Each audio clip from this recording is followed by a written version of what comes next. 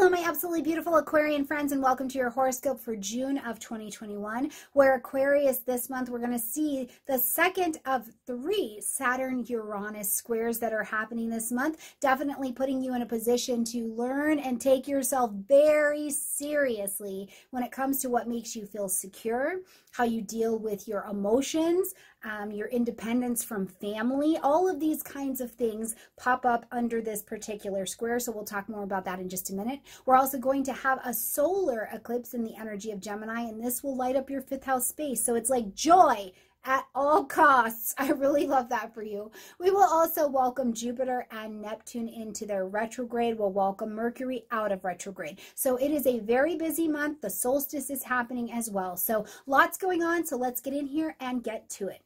All right, right at the beginning of the month on the 2nd, we'll see Venus moving into the energy of Cancer. This will light up your sixth house space, and Venus will travel here all month long until she moves into Leo at the end of the month.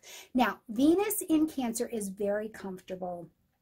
They love nurturing one another. This is a very friendly, energetic combination, okay? And in your sixth house of daily routines, health, wellness, being of service to other people, all of these areas. This is a time where I think that with Venus and Cancer, you're like maybe giving a lot of love and support to other family members or to women and relationships in your life. Maybe even you're just loving on yourself and your body by feeding and nurturing your form really well and in a way that feels empowered and supported even by you. Either way, Venus here is bringing some definite, definite benefit. Now, you do want to be careful when Venus travels through the sixth house. Sometimes it's like, you're right, Stormie, I should nurture myself donuts for me. You know, so you do have to be careful that she doesn't like get you all indulgent and you have a little bit too much. But being of loving, harmonious service to nurturing this particular area of life is really good. Now, also, Venus in the sixth house is great if you've had issues with coworkers, but it also makes you look pretty good at work. So, public displays of wanting Aquarius on the team could definitely be something that you're experiencing. On the 10th, we'll have this new moon solar eclipse at 19 degrees of Gemini, and this will be in your fifth house space. And this is why I say joy at all costs. Back in May, we had a lunar eclipse in Sagittarius, which would have been in your 11th house, which is our indicator that different friends, organizations, social groups are falling out of your life, making space for this solar eclipse here, where new friends, new starts, new beginnings, new romance, new babies, whether that be physical babies or it is like a project, new hobbies, new things that bring joy into your space at all cost are really what's available for you here. So over this next six months, be willing, talk, network, be social, and allow these new opportunities to come in for you. It's just about time, okay? I mean, my God, you've got Saturn running through your energy for the next couple years. You will be a different Aquarius at the end of it, and you're going to need the new cast of characters for, you know, season 55 of Aquarius Does Life to help you learn how to do that. So definitely bring that in, okay?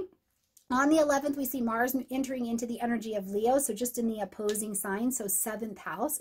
Relationships could get busy. You're taking a risk with relationships. You know, you've got this energy here until the end of July. It's like, yeah, I want to live my heart. I want to speak my joy. I want to have fun with people. I want to connect with these kids. I want to have some romance. I want to I want to take a risk to go do that sport, see that concert, be a part of that, say my poetry. Whatever it is, Mars has got you in motion in relationships and you're speaking up in a pretty big way. So absolutely enjoy that energy. Mars is still Mars. If there is a breakdown that needs to happen in order to get to a breakthrough, Mars will welcome that conflict. Um, but you can do it with your heart on your sleeve. You can do it with compassion. You can say the thing, I said what I said. You need to say what you need to say, but also remember that it can be done in a way that is evolved, okay? On the 14th, we're going to see Saturn and Uranus, your ruling planet, coming together in their square. Now, Saturn is in your sign, so you are being shaken, not stirred. You're having to get really serious about who you are, your physical form, your body, the way that you show up in public, you know, the me part of the me we balance. You're being taken to task to grow up in this energy. And as it's squaring against Uranus, your other ruling planet in Taurus, another fixed energy, you're really being asked, like, how do you participate in your family dynamics and what is unhealthy about those boundaries? What needs to change or what just naturally is changing in the family dynamic that maybe you're stepping up and picking up a bit more responsibility, even more than you necessarily planned for at this particular time? Whatever it is, the Saturn and Uranus square is really about, about breaking down what is unhealthy, outdated, destructive, or not useful to you between these two houses and really getting you to take some actions that will lift the vibration of this particular space, okay? On the 20th, it is a busy day. We've got the sun moving into the energy of Cancer, bringing in the summer solstice or winter solstice, depending on where you are. We're going to solstice together, though, and this will light up that sixth house space. But we've also got Jupiter stepping into its retrograde at its cute little two degrees into Pisces energy, so over in the second house, okay? As the sun brings its light, heat, life, and vitality into the energy of Cancer, in the sixth house, now you're motivated to work on those projects. You're motivated to work on your health and your body. You're motivated to make sure that your mental health and wellness is taken care of, but more than anything, I think that if it's the way it's manifesting in your life, the sun busies the area of taking care of a family member, taking care of these family dynamics, maybe really taking care of um, a woman or a parent in your life in some capacity. Of course, I mean, it's still Cancerian energy, so truly day to day living, maybe you got to take care of your house. Like you can be a spiritual flower, but you also have to do the laundry. You know, like when's the last time you got the Q tip and went around the baseboards? Like it could be daily living kinds of things, okay? Now, as we're taking that Jupiter and Pisces retrograde there in the second house, I think it's really asking you truly a big theme for you this year is like, what's your value? How are you valuing you, Aquarius, and allow that to be a spiritual principle that's coming into reality for you. But it can't happen without your teachers, without education, without Jupiter, without the great gurus coming back to say, let me show you your value. Show me your skills and your fun and your heart and your talents. And then let me show you how those are very, very valuable to us. So it's more than just a money retrograde. I think it's very much about your self-esteem and remembering that separate from the from the group, you have your own magic to share as well, okay?